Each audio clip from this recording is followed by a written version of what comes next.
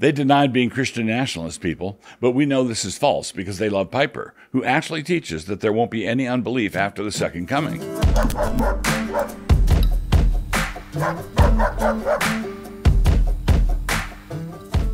I owe John Piper more than I can possibly express, and so it is most necessary for me to preface any disagreement with him in terms of highest respect. And that is what I do here, right at the top, lest anyone miss it. This is an odd kind of disagreement because I actually agreed with an awful lot of the article I will be interacting with. The disagreement arises because he expends a great deal of energy critiquing a position that I would also oppose, but which I think he believes to be somehow inherent in any kind of mere Christendom project. More on this below. Before getting started, let me pay some faux respect to an opinion hit piece on a church in Boulder written by someone who should clearly not be taken as a reliable guide in the discussion that follows. His take was so bad that a sort of grandeur creeps into it. He writes, quote, In their response, planters Chase Davis and Matt Patrick denied being Christian nationalists. But the well pastors love quoting John Piper, who has written, The day is coming when the state and the church will merge, and the state will be perfectly and totally Christianized. The day of tolerism and pluralism will be over. Close quote. They denied being Christian nationalist people, but we know this is false because they love Piper, who actually teaches that there won't be any unbelief after the second coming. Given the nature of the case, I decided to respond with a series of standalone paragraphs.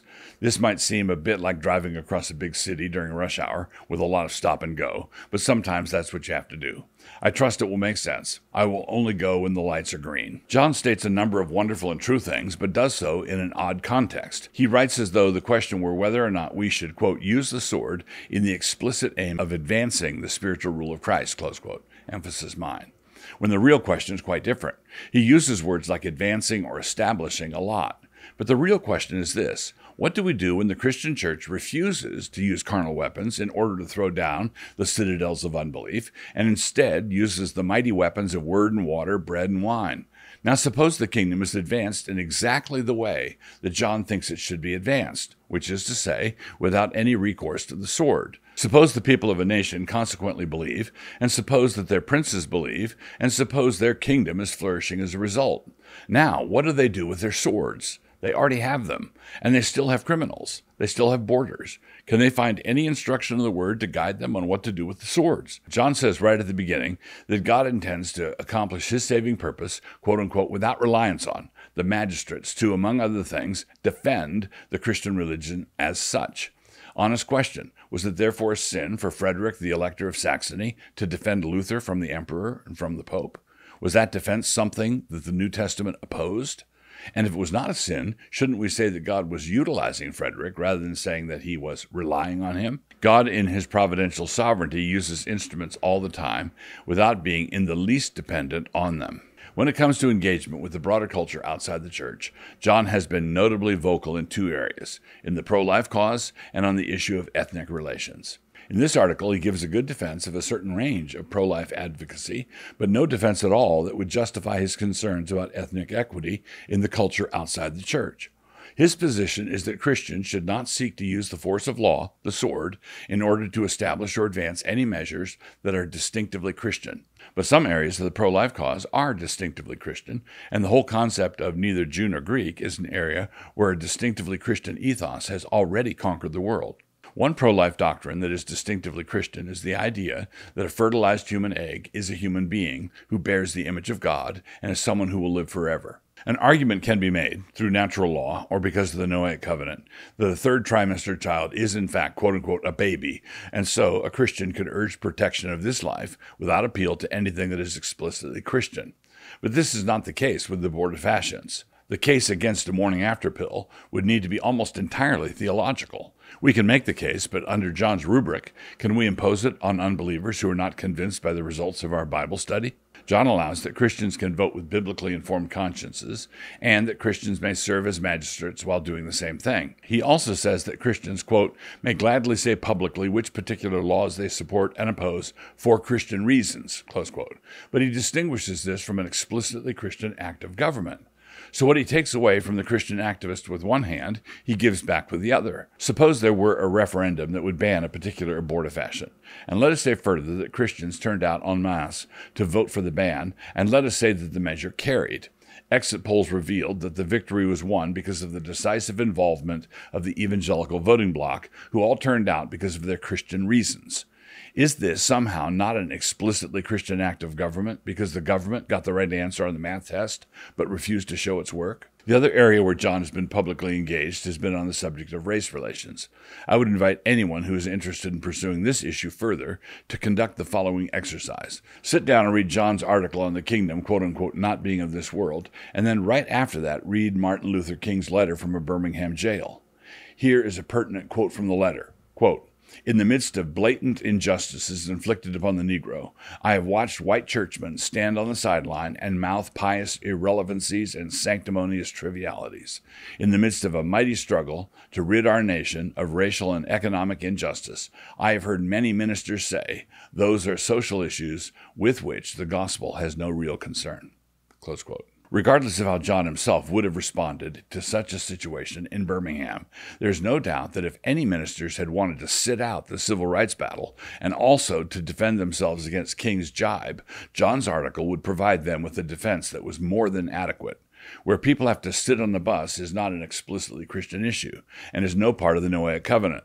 Incidentally, I've not changed my dim views about King's larger project, but I make this argument because John hasn't changed his views on it either. But given this article, he needs to change something. His article gives Christians permission to do exactly what King was objecting to. I can understand someone saying that laws against murder, theft, and rape are laws that could be justified without reference to Christian revelation. I myself have no problem with recourse to that revelation, but I also understand that the Code of Hammurabi did not have scriptural footnotes. But the ideal of ethnic equity in a society is an ideal that is explicitly Christian. It draws its inspiration from the New Testament's teaching on how the church should be constituted, and apart from the influence and example of Christianity, there is nothing more ordinary and carnal than the Malays marginalizing the Chinese, the Chinese marginalizing the Uyghurs, the Americans marginalizing the Nez Perce, and everybody marginalizing the Gypsies, and so forth. Apart from Christ, this is how human societies have always operated. Exclude the prospect of Christians bringing an authoritative word from God, and you have to allow for the rise and maintenance of official discrimination. As long as it doesn't turn to murder, as with the Turks and Armenians, or Germans and Jews, the Christian has nothing to say about the thoughtful gesture of making sure blacks have their own drinking fountains. If the unbelievers want to sort themselves out according to skin color, that is not the gospel's concern, at least according to the logic of this article. John says, quote, The civil government may rightly pass laws that make the spread of the Christian faith and other faiths easier. For example, laws protecting free speech and free assembly. That is not what the New Testament opposes. Close quote. So John says the government may pass laws that protect free speech and free assembly. May? They may do this. Okay, got it. But must they? Is John saying that God doesn't care whether they do or not? And so is freedom of speech a right or a privilege? It appears from the way he has framed this question that John believes that we are not endowed by our Creator with certain inalienable rights. He would certainly say that we have the right and obligation to preach the gospel, whatever the government might say about it, but do we have the obligation to remain silent on other issues not pertaining to the gospel if the government has not granted us the privilege of speaking? In the previous quote, and in other places, John says that the New Testament quote unquote opposes things that the New Testament doesn't talk about directly at all. But these conclusions of John's are derived from his systematic and pietistic theology of what the New Testament must be all about, and not from the New Testament directly or exegetically. The New Testament nowhere says, for example, that it would be a, quote, sin for the magistrate to treat Christian ministers with any special consideration, close quote. And on top of everything else, it seems really strange to categorize special kindness to Christian missionaries as a sin and something the New Testament opposes. Someone will respond that our Mere Christendom project is also a matter of systematic derivation and not derived from any direct teaching of the New Testament. Now, it is true that we have a systematic framework for understanding all of these things, but it is false to say that there's no direct teaching on it. Jesus expressly says that he has all authority in heaven and on earth, Matthew 28 18 through 20. He says that, as a consequence, we are to disciple all the nations. We are to baptize them all. We are also to teach them all to obey everything that Christ has commanded. One of the things he commanded was this last command, and so the Great Commission is consequently ongoing and perpetual. So our understanding of these marching orders is not derived from our systematic theology. Rather, our systematic theology is built on this cornerstone of this express command. Jesus did not say, quote, and teach them to avoid any express mention of me in all of their doings. John's article says that Christians must not use the sword to, quote, threaten the punishment or withhold the freedoms of persons who do not confess Christ as Lord, close quote. Okay, but suppose there were a Christian prince who intended to use the sword to protect the freedoms of persons who do not confess Christ as Lord. Take your average unbeliever. He is far more likely to have his freedoms ransacked by the current Bolsheviks running the show than by me. May no one defend him? May no one defend him in the name of Christ? I understand John's antipathy toward Christian persecutors. I share the antipathy. But what I don't understand is his resistance toward a Christian defense of the persecuted. That seems like something that is strikingly different. I see John's article as arguing that a Christian prince could undertake on behalf of a persecuted minority in a neighboring country using the sword, and he could do it because he himself was a Christian.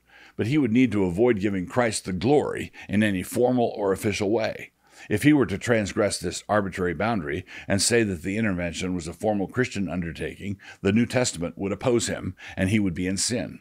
And why would he be in sin for thanking Christ for the success of their mission to deliver the beleaguered? Because he did a righteous thing in the name of Christ. But given John Piper's lifelong emphasis on giving glory to Christ in all things, this seems just plain weird.